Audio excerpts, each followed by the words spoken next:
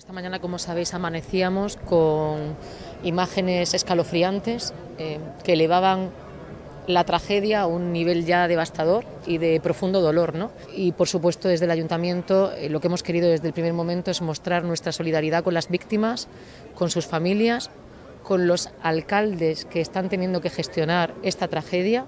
Hemos puesto a disposición de la comunidad autónoma, del Gobierno de la región de Murcia, del Servicio de Emergencias, eh, los recursos que sean necesarios por parte del Ayuntamiento de Cartagena para poder colaborar en las tareas de rastreo, de rescate con bomberos, con la unidad de rastreo también canina, eh, con los drones que tenemos en la policía local, cualquier recurso los tenemos preparados para cuando se pueda necesitar, ¿no? en cualquier momento conforme puedan llegar a los lugares más afectados y puedan iniciar esas tareas y trabajos de, rescate, si solicitan nuestra ayuda, lo haremos. Queremos hacerlo así porque, como saben, la coordinación en estos momentos es fundamental y tenemos que hacerlo en coordinación con la comunidad autónoma y en coordinación también con la Federación de Municipios y siguiendo el comité de crisis que, se ha activado para poder activar los recursos cuando sea necesario. Lo que deseamos es que recupere la normalidad lo antes posible.